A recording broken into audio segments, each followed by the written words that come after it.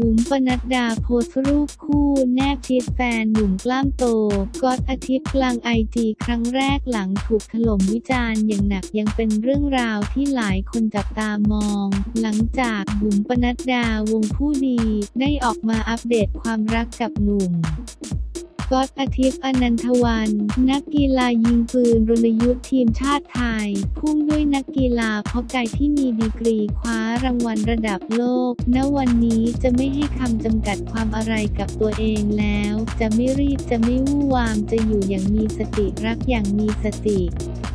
พิจารณาคนค่อยเป็นค่อยไปวันนี้จะมาเป็นคนพิเศษต้องใช้เวลาศึกษากันไปเรื่อยๆ ถ้าวันหนึ่งกลายเป็นคนที่ไม่ใช่ จะได้ไม่เจ็บทั้งสองฝ่ายก็แยกย้ายไปทำมาหากินเป็นกัลยาณมิตรกันสำหรับหนุ่มคนนี้ คนรู้จักมานานแล้วตั้งแต่ปี 2559 เริ่มจากตนเป็นพิธีกรสัมภาษณ์ข่าวจากนั้นก็หายกันไปมีคุยถามสารทุกสุขดิบกันบ้าง จนมาล่าสุดน้องอันดาลูกสาวของตนอยากเรียนยิงปืนตนเลยหาคนที่รู้จักที่สามารถสอนยิงปืนได้ ก็เป็นเขาพอคุยกันไปคุยกันมาก็กลายเป็นคนคุยกันตนก็เลยต้องขอขอบคุณคุณลูกที่เหมือนเป็นแม่เสือให้ทั้งนี้พี่บุ๋มเผยว่า ฝ่ายชายอายุมากกว่า 3 ปีจึงสามารถคุยกันได้ทุกเรื่องที่สำคัญก็คือเรื่องลูก เพราะเขาก็มีลูกแล้วสองคนซึ่งอายุไล่เลี่ยกับลูกของตนและตนอยากจะบอกชาวเน็ตตรงนี้เลยว่า ไม่ต้องส่งข่าวมาฟ้องว่าเขามีลูกแล้ว เพราะรู้เรื่องเขาทุกอย่างหากคนนี้เป็นคนที่ใช่จริง ๆ พี่บุ๋มก็บอกว่า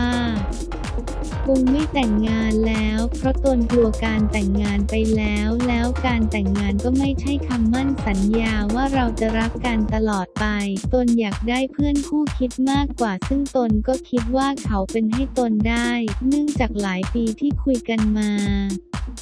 เขาให้คำแนะนำตนได้เยอะมากทำให้ตนรู้ว่า เขาไม่ได้มีดีแค่กล้าม ซึ่งหลังจากสาวบุ๋มออกมายอมรับว่ามีรักครั้งใหม่ก็มีชาวเน็ตแห่คอมเมนต์วิพากษ์วิจารณ์อย่างหนักที่คอมเมนต์แรงไม่สุภาพอาทิ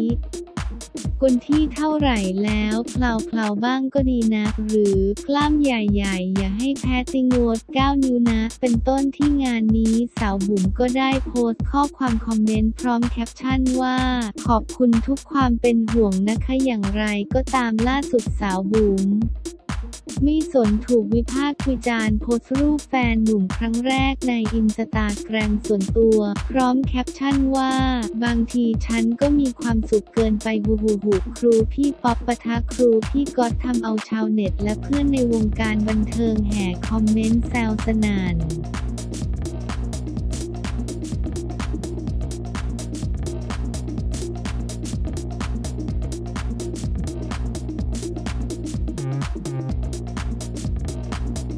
ผลฟองสนานทำในดวงเมืองจับสัญญาณความพุ่งเฟืองจากเจ้าคุณธงชัย วันจันทร์ที่ 25 มกราคม พศ 2564 8นาฬิกา 18 นาที ผลฟองสนานทำในดวงเมืองจับสัญญาณความพุ่งเฟือง จากเจ้าคุณธงชัย 25 มกราคม 2564 เพจเฟซบุ๊กฟองสนานจามรจันทร์ของคุณฟองสนาน จามรจันทร์แม่หมอสมัครเล่น โพสต์ข้อความมีเนื้อหาดังนี้ แม่หมอสมัครเล่นตอนที่ 360 โดยฟองสนานจามรจันทร์ลัคนาเมษจับสัญญาณความฟุ้งเฟื่องจากเจ้าคุณธงชัย ภาพลัคนาสถิตราศีเมษและดาวจรสำคัญ มฤตยูจรเดินอยู่ในราศีเมษลบ 8 กรกฎาคม 2565พระราหูจร 8 เดินอยู่ในราศีพฤษภลบ 29 มีนาคม 2565 พระเสาร์จร 7 เดินอยู่ในราศีมังกรลบ1มีนาคม 2566 พฤหัสบดีจร 5 เดินอยู่ในราศีมังกรจะย้ายเข้าไปเดินในราศีกุมรอบแรกระหว่าง 29 มีนาคมลบ27 กันยายน 2564 พอบทความแม่หมอสมัครเล่นตอนที่แล้วคือตอนที่ 359 เผยแพร่ออกไปทำนายว่าเมืองรัตนโกสินทร์จะรอดแล้วจะฟุ้งเฟืองคนลือเรื่องลาบเหลือหลายตั้งแต่ระหว่าง 29 มีนาคมเป็นต้นไปลบ 27 กันยายน 2564 เป็นยกแรก ปรากฏว่าเรียกเสียงฮือฮาและแขกได้มาก คงเป็นเพราะเป็นคำทำนายที่สวนกระสการระบาดโควิด -19 ระลอกใหม่ส่งความเดือดร้อนยุ่งยากไปยังชาวบ้านให้รัฐบาลต้องอุ้มและม็อบสามนิ้วที่พยายามปลุกระดมกันอีกรอบ กันที่จริงไม่ใช่แต่เมืองรัตนโกสินทร์ที่ลัคนาสถิตราศีเมษที่กำลังฟันฝ่าปรากฏการมฤตยูจรศูนย์เจ้าของภัยอาเพศ การปฏิวัติใหญ่ทัพลัคนาบวกราหูจร 8 ค้นทรัพย์บวกพฤหัสบดีจร 5 กับพระเสาจร 7 ประลองกำลังกันในเรื่องโรค วิหารทำให้รัฐบาล ฝ่ายทำงานของเมืองพบที่สิบกัมมะต้องเริ่มรอบใหม่ของการทำงานแบกภาระประชาชนกระทบในหลาย ๆ เรื่องเท่านั้นแต่สำหรับคนทั่วไปที่ลัคนาสถิตราศีเมษด้วยนั้นโหนทั่วทั่วไปก็ดูออกว่าตั้งแต่ระหว่าง 29 มีนาคมเป็นต้นไปลบ 27 กันยายน 2564 เป็นสัญญาณอันแรกของคนกลุ่มนี้ส่วนใหญ่ มียกเว้นหลักทักษะหักพฤหัสบดีกำลังเป็นการกินีจร ที่ชีวิตจะเข้ารูปเข้ารอยยกแรก และมีโอกาสจะพุ่งเฟืองคนลือเรื่องลาบเหลือหลาย ด้วยเกณฑ์ที่เรียกสิงหเกณฑ์ หรือพฤหัสบดีจร 5 เข้าไปเดินในราศีกุมภพที่ 11ละพักของดวงชะตาในขณะนั้น แม้จะมีเดินผิดปกติ คราวนี้ผู้เขียนจะหาตำราและบุคคลอ้างอิงคือหนึ่งว่าด้วยเมือง และรวมทั้งคนลัคนาสถิตราศีเมษไม่ว่าจะเจอเรื่องดีร้ายขนาดไหนจะรอดแคล้วคลาด เพราะระยะนั้นอยู่ในระหว่างพฤหัสบดีเป็น 11 หรือได้สิงหเกณฑ์เป็นหลักฐานยืนยันจากโหนเอกอาจจะยิ่งกว่าระดับพระยาโหราธิบดี คือเร่ 0.1 พระบาทสมเด็จพระพุทธยอดฟ้าจุฬาโลกมหาราช ทรงได้ทำนายเขาสัญญาณการเกิดของปฏิวัติสยาม 2475 ไว้ล่วงหน้า 150 ปี คือหลักโหนนี้ปรากฏอยู่ในบทพระราชนิพนธ์รามเกียรติ์ตอนพิเภกออกศึกมหาบาล ที่ยกทัพมาตีลงกาจะฆ่าพิเภกเพื่อแก้แค้นทศกัณฐ์ขณะนั้นพิเภกรู้ว่าเข้าตาจนแน่แล้ว เพราะไม่ได้เป็นนักรบเก่งกาจอะไร พระรามและทหารเอกก็ยกทัพกลับไปหมดแล้ว จับกระดานชนวนมาดูดวงชะตาตัวเอง ไม่ได้มีโปรแกรมใช้เหมือนสมัยนี้ พบว่าชะตามีเกณฑ์ร้ายอื่นเพียบ แต่พฤหัสบดีจรเป็น 11 หรือสิงหเกณฑ์ตัวเดียว ก็รู้ว่ารอดแน่ ทั้งนี้เป็นไปตามหลักการคานอำนาจของดวงดาวว่าผิวสับเคราะห์มาดหมาย ให้โทษแก่ลัคนาหลายพฤหัสบดีให้คุณก็อาจคุ้มภัยคือดาวอื่นถล่มให้โทษแก่ลัคนาขนาดไหน พฤหัสบดีดวงเดียวให้คุณก็คุมภัยได้ โดยบทพระราชนิพนธ์ตอนนี้ที่พิเภกรู้ว่าจะมีคนมาช่วยแล้วหนุมานก็ด้านเมฆมาช่วยคือเร่าร้อนฤทัยดังไฟพิษเกรงฤทธิ์มหาบาลยักษาจึงจับกระดานชนวนมาพิเคราะห์ดูชาตาอสุรินดูชะตาตนเอง เห็นการละกันนีร่วมชาติ การกินีจรร่วมลัคนาลักลัคนาจันต้องคาดอยู่ทั้งสิ้น เสาเสดทับเสาราศีมีน พระเสาจรเดินผิดปกติทับพระเสาดวงเดิมกำเก่าแรง แล้วกินนวางลัคนา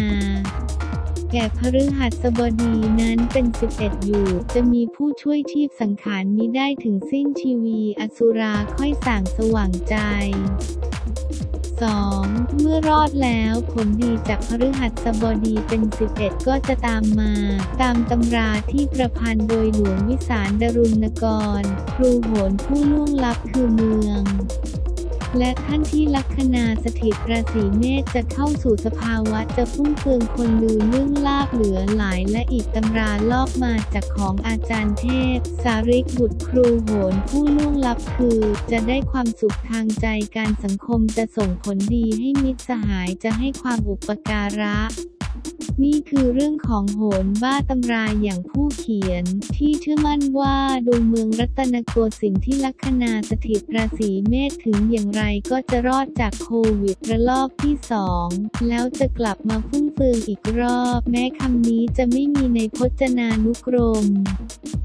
แกก็อีกนั่นแหละโหนท่านอื่น หากใช้หลักเข้าจับแล้วย่อมรู้ดีถึงการรอดและจะพุ่งเฟืองจากสิงหเกณฑ์นี้ รวมทั้งสมเด็จพระมหารัฐมงคลมุนีหรือเจ้าคุณธงชัยเจ้าคณะใหญ่หนกลางวัดไตรมิตรวิทยาราม ที่ลูกศิษย์ของท่านคุณวันชัยสอนสิริ สมาชิกวุฒิสภาได้นำสัญญาณดวงเมืองที่ส่งออกจากท่านมาโพสต์เฟซบุ๊กให้ทราบกันตั้งแต่ 26 ธันวาคม 2563 สรุปว่า ระวังตัวกันเสมอตั้งแต่ต้นปี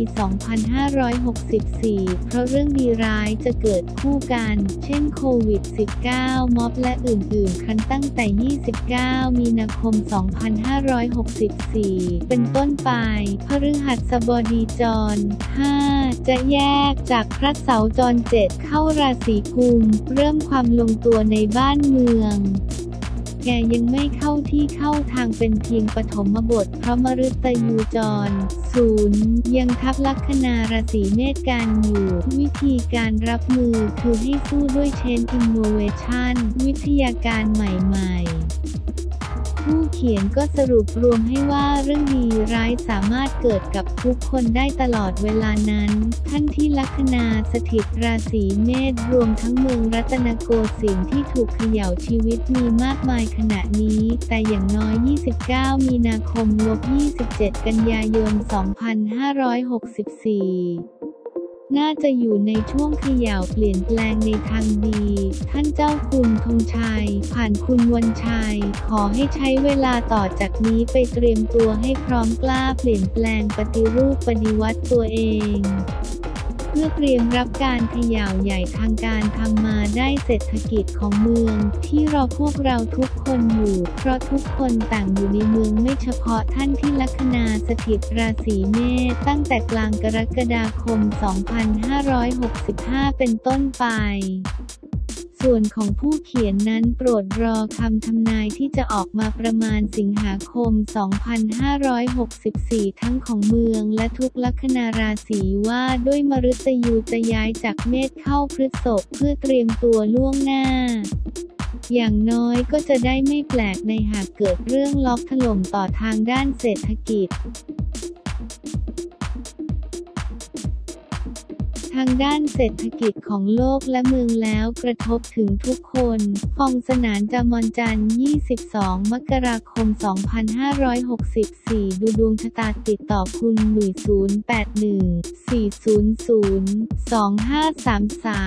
2533 ยังไม่รับวอล์กอินไม่รับประกันความแม่นเพราะเป็นเพียงคำทำนายของโหนสมัครเล่น ขออภัยคิวยาว เพราะแต่ละวันรับน้อยตามสภาพของโหนสูงอายุ ท่านใดที่เคยดูดวงกับป้าฟองแล้ว ต้องการตรวจซ้ำโปรดแจ้งคุณหนุ่ยเพื่อหาเวลาพิเศษให้ แต่จะไม่กระทบท่านที่จองคิวปกติไว้ ขอบคุณค่ะ